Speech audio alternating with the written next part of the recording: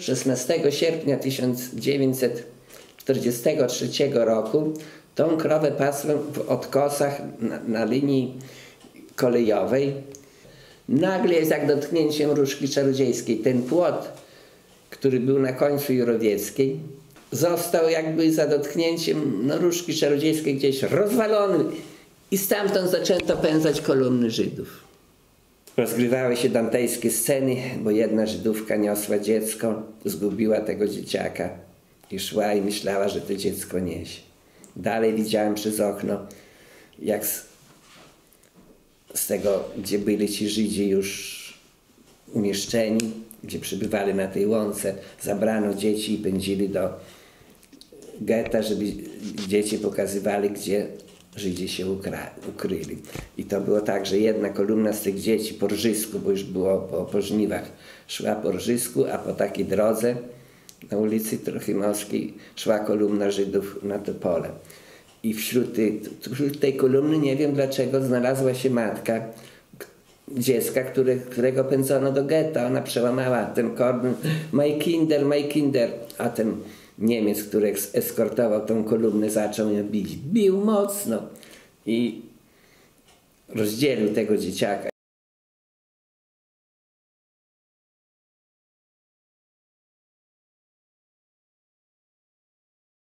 Wróciliśmy z powrotem, dalej pędzono tych Żydów i pewnego razu patrzymy, a tu na platformie ciągnionej przez koni jest cała masa trupów, bo w międzyczasie na tym polu Żydzi umierali. I taka ogromna kupa tych trupów na tą platformę załadowali i wieźli na cmentarz na Żaby. Eskortował ten pojazd Ukrainiec i zaczął rozsuwać te zwłoki, bo chciał usiąść. I zobaczył, że jeden jest żywy, bo ręka ciepła. Wyciągnął tego Żyda spod stosu trupów. Co ten Żyd, jak on sobie kalkulował, to nie wiedział. To tak go zbił i potem ten Żyd szedł z powrotem na to pole, szedł, bieg. To każdy strażnik, obok którego przybiegał, też go bił. To po prostu była jedna wielka kupa mięsa.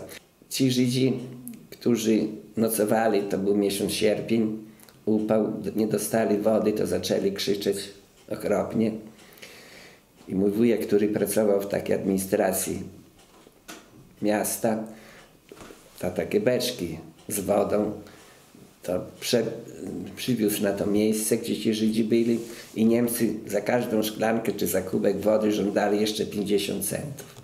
I te, ci Żydzi strasznie krzyczeli. No i tak w ciągu trzech dni tych podobno 30 tysięcy Żydów załadowano do wagonów, a wagony stały na wysokości magazynów wojskowych. W tych magazynach wojskowych płot z jednej strony zerwano, potem z drugiej strony, od strony kolei zerwano, strony łąki, od strony kolei i przez teren magazynów formowano kolumny Żydów, których pędzono do Treblinki. No i tam niestety oni wszyscy zginęli.